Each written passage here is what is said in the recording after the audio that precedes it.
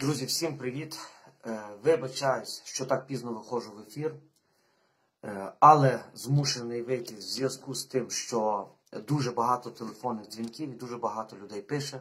Володя, що з, тією жінкою е, в лікарні, в якому вона стані, що сталося, не дай Боже, і тому подібне. Значить, друзі, хочу сказати, стан стабільно важкий. Так, сумно. Сумно не покращився стан. Е, якщо порахувати, відколи її забрали, то стан е, дуже, дуже недобрий. Стабільно важкий. Чому? Тому що вона вже менше рухається, вона вже е, цілодобово в тій кисневій масці, і ви самі розумієте, який іде на неї моральний тиск, і людина хвора стає тільки від того, в яких умовах вона зараз там знаходиться. Е, щоб ви розуміли коротко, е, з ранку до обіду ми не могли дозвонитися до пані Галини вже з дочкою. Е, Далі почали бити на сполох, почали шукати номера телефонів тих всіх вчорашніх там директорів. В них виключені телефони. Знайшли телефон в лікарню. І що хочу сказати. Розмова була нормальна. Всі розмови, до речі, ми записуємо. Лікарі, е, лікарі ми не знаємо, чи це лікарі. Ну, факт того, що ми сказали, в якому стані пацієнт, і прошу нам розказати. І, і нам розказали, е, ну, так як ви знаєте, якби е, десь записано, і людина починає торочити. Тобто. Е, розказують, ситуація 95 там, на кисневій масці постійно. Е, цукор, цукор в крові 15. Ну, то я вам так двоє речей розкажу, що найосновніше. Е, питали, чи рентген зроблений, шукали, рентгену нема. Ви собі уявіть, завтра буде тиждень, як людина в лікарні. Рентген ніхто не зробив. Наш нас вчора лік, е, головний головний директор директор лікарні сказав, запевнив, рентген зроблений. Він є, він мусить бути. Рентгену нема. Мінус. Не розуміємо чому. Далі її колять е, антибіотики, в неї цукор. Цукор не спадає. Не розуміємо чому. Ем... Ну, е, кажуть, що взяли під контроль цукор. Слава Богу. Чому 4 дня не брали цукор, не знаю. Е, жінка лежить, вони нам кажуть, що жінка бажано, щоб не вставала.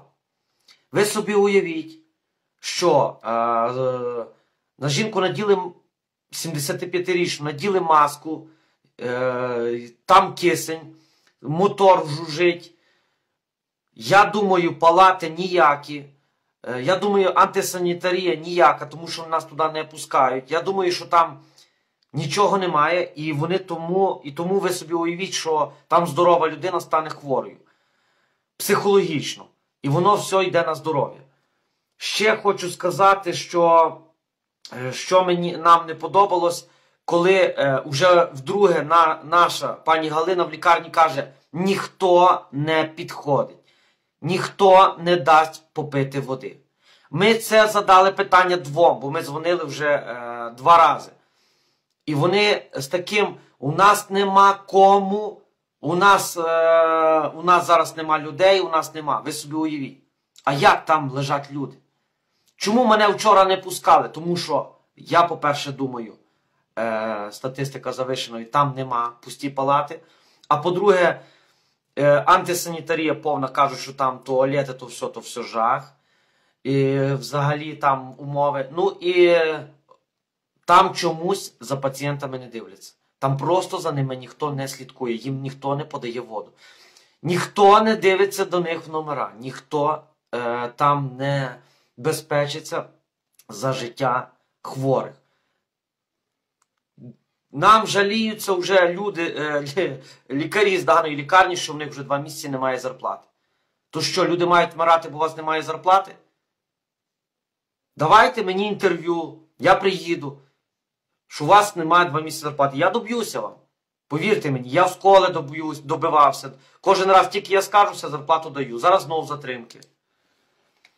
Дочка, е, пані Тетяна, стан в неї, повірте мені, там стан, е, тиск піднімається, і ми, ну, дочку теж колем, дочка теж приймає таблетки, і дочка завжди е, з апаратом від тиску. Тобто там дочка після вчорашнього їй дуже важко.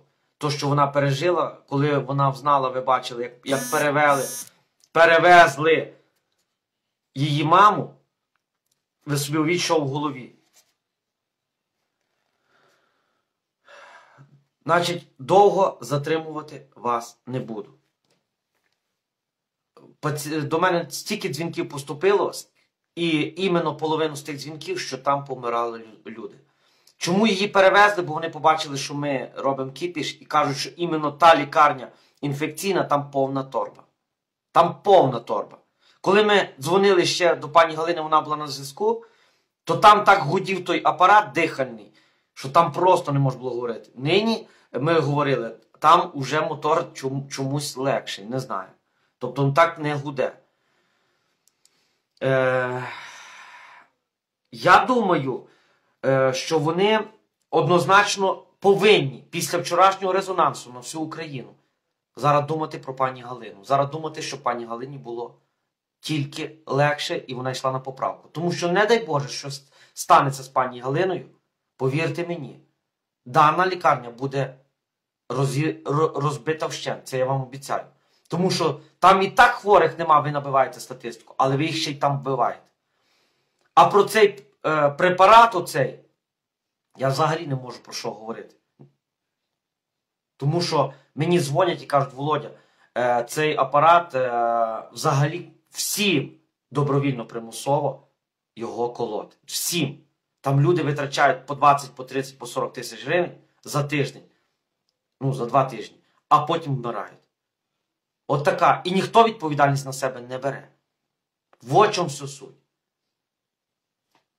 І ніхто не скаже, де чеки, а чим кололи. І все спишуть на ковід.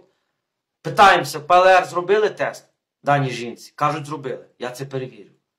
Тому що е, хто його знає, там люди попадають здорові, їх там заражують і люди стають хворі. Значить, рука на пульсі, і ми слідкуємо. Ми слідкуємо за кожним їхнім кроком. І ми вчорашній день не попустимо. Зараз я дзвоню на 102 і питаюся, що з чи відкрите кримінальне провадження, чи внесено відомості до ЄРДР. Так, зараз ми.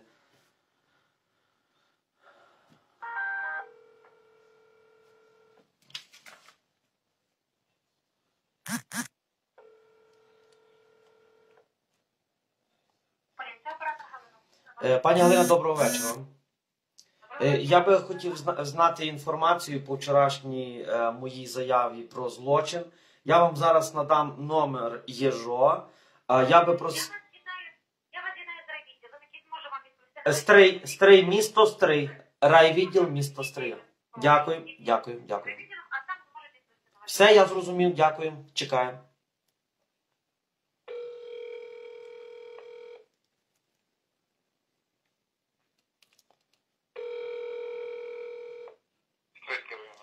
Е, Доброго вечора. Доброго вечора. Доброго вечора. вам. Е, вас турбує. е, А чо, а чо так довго відповідаєте, якщо не секрет? Ну. Ні, ні, я маю на увазі, я сказав доброго вечора, у вас там якась затримка була, можливо, щось з зв'язком. Добренько. Ди, можливо, дивіться. Е, вас турбує Явдик Володимир Іванович, журналіст газети Ідея нації. Я вчора залишав е, заяву про злочин, і е, я зараз вам назву номер ЖО.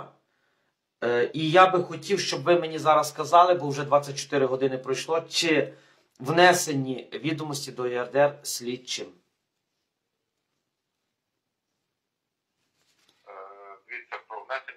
апеляції до єдиного реєстру досудових розслідувань вам може сказати начальник слідства в робочий день, тобто завтра, в 9 годині. Я вас до вас позвонив запитати, чи ви е, маєте дану інформацію? Ні, на жаль, дану інформацію немає. Про всі відкриття, закриття, хід е, досудового розслідування має інформацію тільки начальник слідства. Я зрозумів. Начальник слідства він сьогодні в групі. Так сьогодні вихідний день неділя. Він працює з понеділка по п'ятницю. Зрозуміло. Тобто, однозначно, ви не знаєте. Добре. Ні, не знати.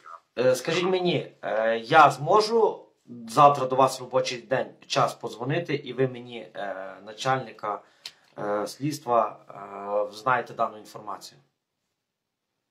Зможете? Е, Дану інформацію по телефону, ну інформацію ніхто не знає, чи вам дізнається. А саме краще, якщо б ви з ним особисто зустрілись, і він вам сказав. Ну, ви розумієте, що я зараз е, можу бути в другій точці України, і ну, в мене не буде фізично з ним зустрітися. Е, зараз є телефони і, і нема ніякої проблеми. Я не... Пане Володимир, я думаю, е, завтра вам дадуть е, його номер телефону мобільний. Ви з ним сконтактуєте, і він вам надасть всю інформацію, яка вас цікавить. Хто начальник слідства, скажіть мені? Е, Виконуючий обов'язки Яцура Любомир. Яцура Любомир. Зрозуміло. Е, Скажіть мені, з ким я спілкувався? Помічник чергового, старший сержант Римчук моє прізвище. Е, Зрозумів номер жетону. 7828. Дякую. Дякую вам. Дякую, Дякую. До побачення. До побачення. Ну що, друзі, е, ну так, не сказали. Ну, можливо, у них би така інформація була. Я думаю, е, я впевнений і вам хочу всім донести, що ще ні разу, ні разу слідчі не вносили відомості до ЄРДР. Запам'ятайте мої слова і передайте на всю Україну. Ну, коли вже буде труп, коли вже буде е, щось таке, тоді вони вносять це, звісно. Ну тільки отакі дії, як, як ми зараз робимо, незаконні вирубки, там, ліс ловили. Е, вчора інцидент з незаконною, е, незаконною забороненим е, тим лікарством корон, Коронавак. Це вони не вносять. А ми вносимо, знаєте як? Через суд будемо вносити.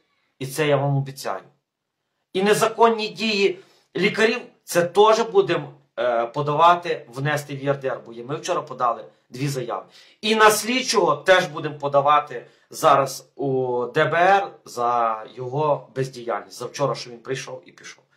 Ну що, друзі, е, слава Богу, е, поки що рука на пульсі, стабільно важкий стан. І надіємося, що буде краще. Але повірте мені, дана лікарня просто так уже не буде працювати.